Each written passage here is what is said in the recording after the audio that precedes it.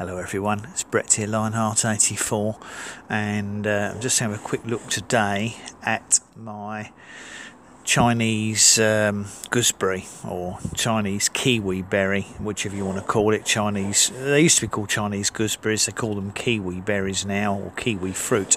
Now, this is the variety Actinidia arguta Issai which is the small uh, grape-sized fruit that's hairless. You can eat the whole fruit.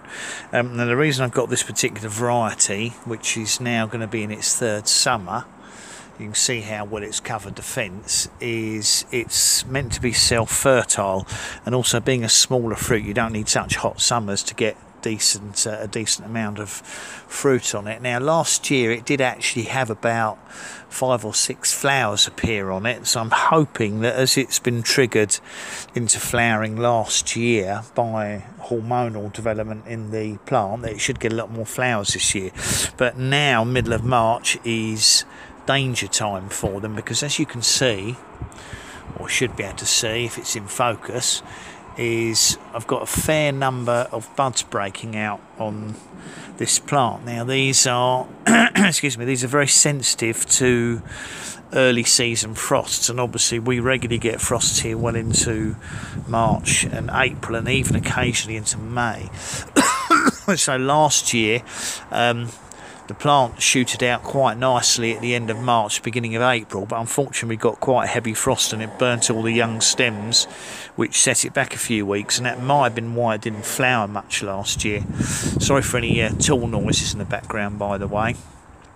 So I'm hoping that the cool weather stops this shooting out anymore for the time being because um, I don't really want it to be growing properly until April because it's a bit of a nuisance to try and it's no easy way to protect it on the fence because obviously the fence is sort of eight feet tall and I can't can't easily protect it from frost. I'm hoping it's not going to come out into bud too early and I'm not going to lose all the shoots to frost like I did last year.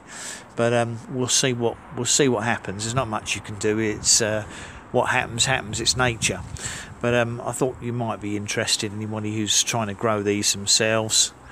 That's uh, the uh, the kiwi berry rather than the normal hairy one. It's a smooth one, and that's Actinidia arguta Issai, which is meant to be partially self-fertile, so I don't need a second plant.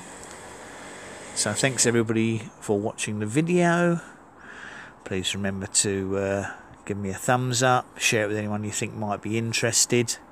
Obviously subscribe to my channel and remember if you do hit the bell, I'll try and give you updates on this and my other plants on videos as they come out. Catch up with you soon. Brett out for now.